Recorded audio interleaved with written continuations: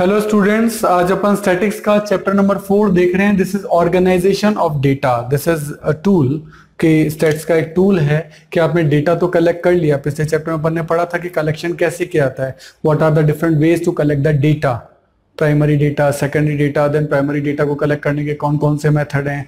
Secondary data को collect करने के कौन कौन से मेथड है? पूरा डिटेल में डिस्कशन अपन ने पिछले चैप्टर में किया तो वो स्टेप नंबर वन हुई स्टेट्स की. स्टेज नंबर टू जो है, वो है ऑर्गेनाइज। अब आपने डेटा तो कलेक्ट कर लिया, अब उसको ऑर्गेनाइज करना है। कुछ इस तरीके से उस डेटा को ऑर्गेनाइज करना है, जिससे कि सामने वाले के सामने हम उसको इजीली प्रेजेंट कर सकें। तो ऑर्गेनाइज क्या है? तो सबसे पहले तो क्लासिफिकेशन डेटा को एक मीनिंगफुल क्लासिफिकेशन देना पड़ेगा कि हाँ भाई सिटी में मेल कितने हैं फीमेल कितने हैं मेल मैरिड कितने हैं अनमेरिड कितने हैं। इस तरह से हम उसको क्लासीफाई करेंगे डिफरेंट तरीकों से। सही है कि समर में जो है टेम्परेचर कितना है विंटर में कितना है, ऐसा हम कर सकते हैं। समर में आइसक्रीम का कंजम्पशन कितना है विंटर में कितना है, किसी भी तरीके से हमको क्लासिफाई करना है। ऑब्जेक्टिव क्या है? ऑब्जेक्टिव बेसिकली हम ये पढ़ेंगे कि आपका डेटा आप किस लिए कलेक्ट कर रहे हैं, आप उसे निकालना क्या चाहते हैं। तो क्लासिफिकेशन का जो बेसिकली डेटा पर्पस है ना, वो ये है कि आप डेटा को एक मीनिंगफुल फॉर्म दे सकें। आप डेटा को कंपेयर कर सकें, उसके बेसिस पे कुछ फोरकास्टिंग कर सकें। ये सब आपका जो है क्लासिफिकेशन का आपका ऑब्जेक्टिव आगे चलते हैं टाइप्स क्लासिफिकेशन के टाइप कितने हैं? देखो, जैसे हम जियोग्राफिकल क्लासिफिकेशन कर सकते हैं। कैसे? जो डेटा है जियोग्राफिकल का मतलब ये हो गया कि राजस्थान की पॉपुलेशन कितनी है, दिल्ली की कितनी है, गुजरात की कितनी है यूपी की कितनी है एमपी की कितनी है। ऐसा जो क्लासिफिकेशन हम करेंगे, उसको बोलेंगे जियोग्राफिकल क्लासिफिकेशन नेक्स्ट आता है क्रोनोलॉजिकल क्रोनोलॉजिकल का मतलब होता है डेट वाइज क्या होता है? डेट डेट का मतलब टाइम से है ईयर से है कि 1951 में पॉपुलेशन कितनी थी? 1961 में कितनी थी? 1971 में कितनी थी? ये कहलाता है क्रोनोलॉजिकल क्लासिफिकेशन अलग अलग टाइप के क्लासिफिकेशन हो सकते हैं। पूरा चैप्टर उसी से भरा पड़ा है। क्वालिटेटिव का मतलब है कि हम क्वालिटी बताएँ। क्वालिटी क्या? मेल कहते हैं? फीमेल कहते हैं? मैरिड कहते हैं? अनमेरिड कहते हैं? ये क्या है? क्वालिटेटिव डेटा एक है क्वांटिटेटिव डेटा जिसमें कि अपन हाइट बताएँ वेट बताएँ, या मार्क्स बताएँ, वो क्या कहलाता है? क्वांटिटेटिव डेटा एक होता है कंडीशनल डेटा समर में अगर समर है तो आइसक्रीम कितनी होती है? और अगर विंटर होता है तो आइसक्रीम कितना कंज्यूम होता है? तो ऐसा डेटा कंडीशनल डेटा कहलाता है। सही है? फिर डेटा को एक मीनिंगफुल ऑर्डर में लिखा जाता है। That meaningful order is called series अब ये सीरीज़ जो है वो दो बेसिस पे बन सकती है करेक्टरिस्टिक के बेसिस पर और on the basis of construction characteristics का मतलब टाइम सीरीज़ जो ईयर वाइज डेटा दे रही है 1980 में पॉपुलेशन कितनी थी 1990 में कितनी थी, इस तरह से। स्पार्शियल यानी लोकेशन बता रही है कि दिल्ली में पॉपुलेशन कितनी है और यूपी में कितनी है राजस्थान में कितनी है, इस तरीके से। और कंडीशनल किसी कंडीशन के बेसिस पर हो, होता है। आइसक्रीम का कंजम्पशन विंटर में ये होता है और समर में ये होता है है ना? ऐसे कॉफ़ी का कंजम्पशन विंटर में ये होता है और आपका समर में ये होता है। इस तरीके का कोई कंडीशन हो जाए।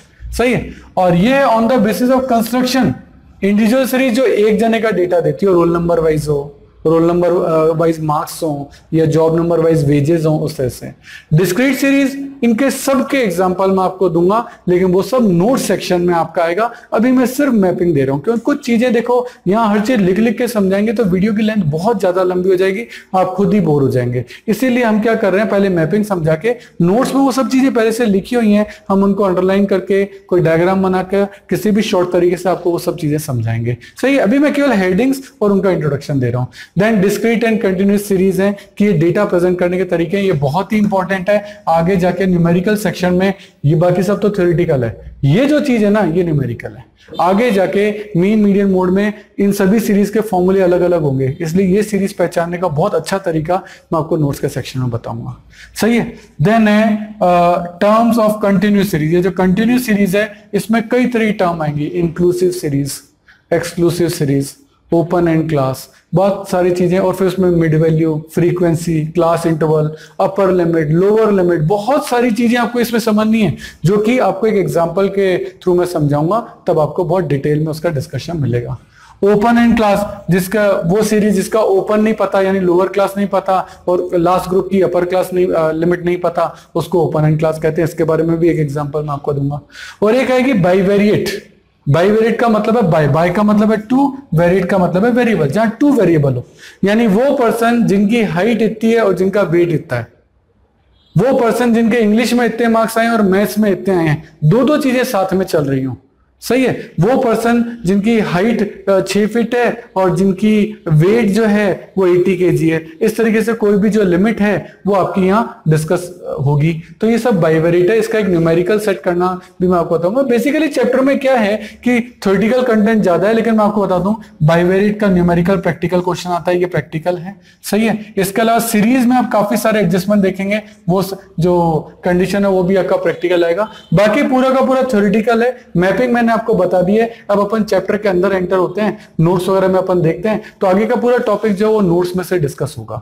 सही है? नोट्स आपको नीचे लिंक दिया हुआ है, वहाँ से आपको डाउनलोड करने हैं फ्री ऑफ़ कॉस्ट है प्रिंट निकाल लीजिए, फिर आप ये सामने रखिए, ये पूरा चैप्टर उन नोट्स में से डिटेल में विद एग्जांपल विद डेफिनेशन मैं डिस्कस करूँगा। तो चलिए, अब आगे अपन नोट्स में चलते हैं। हेलो स्टूडेंट्स आज जो अपन टॉपिक करने वाले हैं, वो है स्टेट्स का chapter number four this is organisation of data कि डेटा किस तरीके से ऑर्गेनाइज होता है? तो सबसे पहले क्लासिफिकेशन ऑफ़ डेटा के बारे में अपन पढ़ें कि डेटा को किस तरह से क्लासिफाई किया जाता है? क्लासिफिकेशन क्या है? Classification is the process of arranging data data को हम अरेंज कर रहे हैं इनटू डिफरेंट ग्रुप्स है ना? उसको क्लासीफाई कर रहे हैं, बांट रहे हैं उसको अपन डिफरेंट ग्रुप में। या फिर अपन क्लासेस कह दें। On the basis of some common characteristics भाई एरिया वाइज बांट सकते हैं अपन डेट uh, वाइज बांट सकते हैं अलग अलग तरीके से हम डेटा को डिफरेंट ग्रुप्स में अरेंज कर रहे हैं। यही आपका क्या है? क्लासिफिकेशन डिफरेंट ग्रुप्स में बांटना। सर ऑब्जेक्टिव क्या है? क्यों कर रहे हैं? हम क्लासिफिकेशन क्यों कर रहे हैं? तो कुछ सेलियंट ऑब्जेक्टिव हैं। ऑब्जेक्टिव क्या है?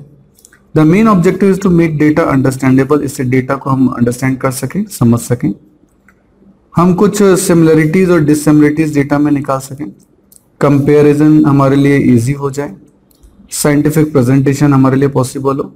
और टेबुलेशन क्योंकि इस डेटा का बाद में टेबुलेशन होगा, वो टेबुलेशन भी जो है हम कर सकें, उसको एक टेबल के अंदर जो है वो प्रेजेंट कर सकें। ये भी हमारा एक ऑब्जेक्टिव है। देन नेक्स्ट पॉइंट आता है characteristic of classification of data इसके फीचर्स क्या है? देखो पहली बात तो डेटा जो है अनएम्बिक्यूस होना चाहिए डबल मीनिंग नहीं होना चाहिए क्लियरली अंडरस्टूड होना चाहिए स्टेबल होना चाहिए है ना? जो उसके फैक्ट्स हो फ्लेक्सिबल अगर हम उसमें चाहें तो चेंज कर सकें। और it it's basis should be clearly defined कि हमने किस बेसिस पे डेटा क्लियर किया है uh, बनाया है और स्ट्रिक्टली हम उसको फॉलो कर रहे हैं या नहीं कर रहे हैं। ये फीचर्स होने चाहिए। अगला आपका पॉइंट आता है sir types of classification of data क्या क्या होते हैं? देखो, एक तो होता है आपका ज्योग्राफिकल क्लासिफिकेशन ज्योग्राफिकल का मतलब होता है एरिया वाइज ठीक है? एरिया वाइज जो डेटा हमने सेट किया है। अगर आपको मेरे वीडियोस पसंद आ रहे हैं तो देखिए एक लाइक शेयर और सब्सक्राइब तो बनता है। तो मेरी खुशी के लिए एक लाइक तो कर दीजिए।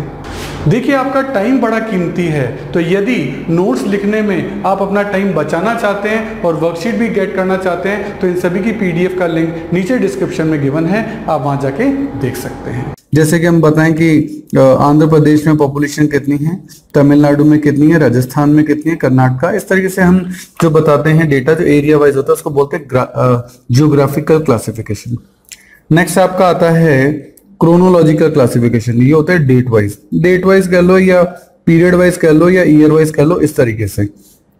जैसे 1951 में दिल्ली की पॉपुलेशन कितनी थी? 1961 में कितनी थी? 1971 में कितनी थी? इस तरीके से अगर डेटा हो तो डेट वाइज है। यहाँ एरिया वाइज था और क्रोनोलॉजिकल का मतलब होता है डेट वाइज होना। सही है? आगे चलते हैं।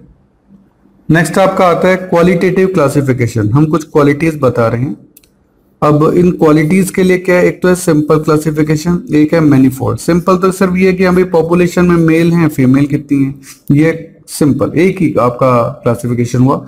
जब काफ़ी सारे अंदर हो, जैसे मैनीफोल्ड कई सारे फोल्ड हो पॉपुलेशन में मेल कितने हैं फीमेल कितने हैं? मेल में लिटरेट कितने हैं इलिटरेट कितने हैं? सही है। तो उसके बाद लिटरेट में भी हिंदू कितने हैं नॉन हिंदू कितने हैं? लिटरेट में हिंदू कितने हैं नॉन हिंदू कितने हैं? ऐसे फीमेल के अंदर पूरा डेटा हो तो काफ़ी सारे फोल्ड्स अंदर चले गए इसको बोलते हैं मैनीफोल्ड ये तो था सिंपल केवल एक ही क्लासिफिकेशन था कि ये कहलाता है आपका मैनीफोल्ड सही है? आगे चलते हैं। ये है क्वांटिटेटिव क्लासिफिकेशन क्वांटिटेटिव क्लासिफिकेशन आपको क्या बताता है?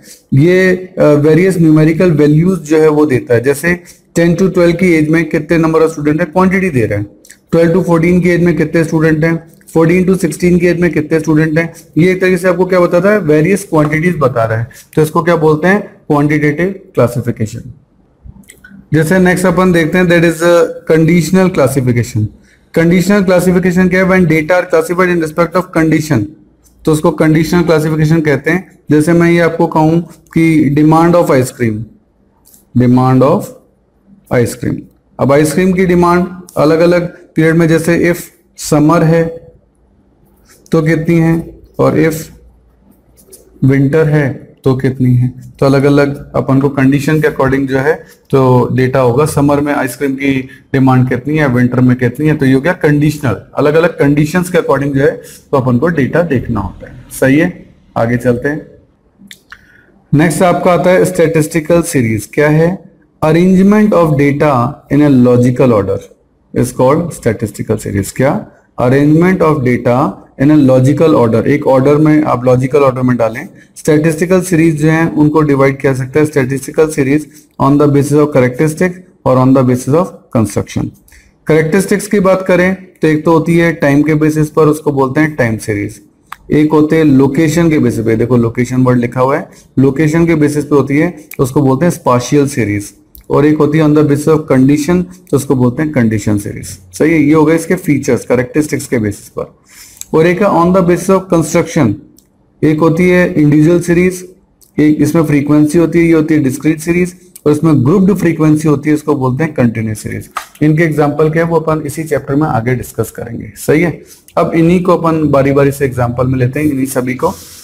सबसे पहले आपका आता है on the basis of characteristics और उसमें आ रहा है टाइम सीरीज़ टाइम सीरीज़ क्या, जो आपको डेटा देती है कि यहाँ पे 1951 में पॉपुलेशन कितनी थी 61 में कितनी थी टाइम के हिसाब से दे रहा है आपको ये टाइम सीरीज़ है।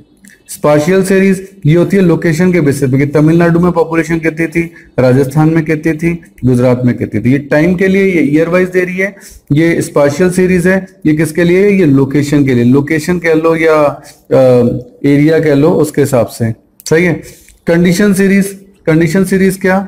कि जिनकी हाइट 153 से लेके 158 सेंटीमीटर है, ऐसी कंडीशन में नंबर ऑफ़ स्टूडेंट कितने हैं? क्लास में इतने जिनकी हाइट 158 से 163 है, ऐसे स्टूडेंट क्लास में कितने हैं? सेवन तो ये कंडीशन सीरीज़ हो गई। वेरियस कंडीशन इसमें ली जा सकती हैं। तो ये हो गया करेक्टरिस्टिक के बेसिस पे। टाइम सीरीज़ इसमें टाइम दिया। स्पाशियल जिसमें लोकेशन या एरिया दिया। और कंडीशन जिससे वेरियस कंडीशन के अंदर आपको डेटा दिया। सही है? आगे चलते हैं। इनमें एक बात आपको ध्यान देने की है कि कुछ कीवर्ड्स अपन को, जिन्हें कहते हैं अपन टर्म टर्म्स कहते हैं टेक्निकल टर्म्स वो ज़रूर लिख देना। जैसे टाइम सीरीज़ लिखो तो उसमें क्रोनोलॉजिकल ऑर्डर ज़रूर लिख देना, है ना?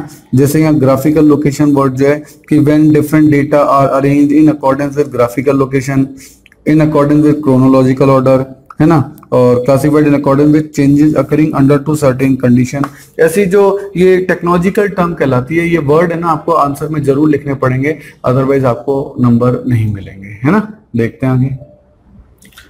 अब चलते हैं on the basis of construction देखिए स्टूडेंट जितने भी वीडियो हमने बनाए हैं, उनके जितने भी क्वेश्चन मैं वीडियोस में करा रहा हूँ, उनका लिंक आपको डिस्क्रिप्शन में दे रखा है। आप वहाँ से उस लिंक को डाउनलोड कर सकते हैं, उसका प्रिंट आउट निकाल सकते हैं। उसके बाद वो क्वेश्चन पेपर आप अपने सामने रखिए और देन आप वीडियो देखिए। उससे आपको फ़ायदा ये होगा कि क्वेश्चन आपके सामने रहेगा।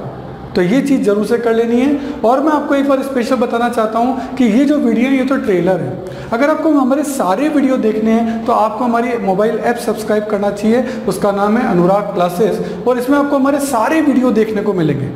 क्यों? देखो, YouTube तो ट्रेलर है, यहाँ सारे वीडियो नहीं होते। अगर आपको सारे वीडियो देखने हैं तो आपको हमारी मोबाइल ऐप सब्सक्राइब करनी पड़ेगी। उसमें आपको सारे वीडियोस मिलेंगे। उसमें आपको नोट्स मिलेंगे। प्रिंटेड नोट्स भी होंगे हैंड रिटन नोट्स भी होंगे मतलब आप हर तरीके के नोट्स वहाँ ले सकते हो। उसमें भी उसकी जो मेंबरशिप है, वो प्रीमियम भी है और स्टैंडर्ड भी है, जो भी आप लेना चाहें। और आपको वहाँ अदर बुक्स के इंपॉर्टेंट पिक्स अच्छे डायग्राम अच्छे क्वेश्चन अच्छे पैराग्राफ वो भी आपको जो है, इस ऐप के अंदर मिलेंगे।